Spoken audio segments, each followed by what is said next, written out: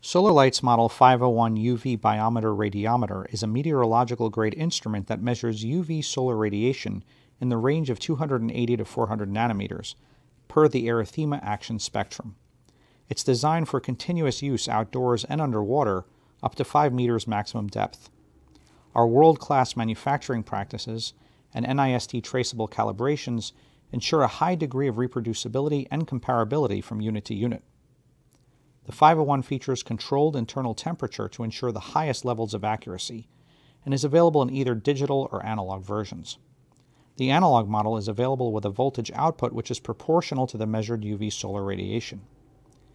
A dedicated computerized data logger is optional. It features a liquid crystal display, keypad, serial communication port, and parallel printer port. The data logger can accommodate two Model 501s simultaneously and is available with analog output optionally. This permanent outdoor solar radiation measurement system is used in countless applications such as plant, marine, climatological ozone, or other biological impact studies that require continuous field measurements over long periods of time.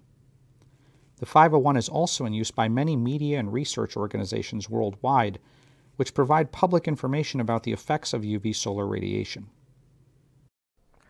Thanks for watching, and please remember, if you need any more information about our products or our services, please log on to our website at www.solarlight.com, drop us an email at info at solarlight.com, or give us a call at 215 517 8700.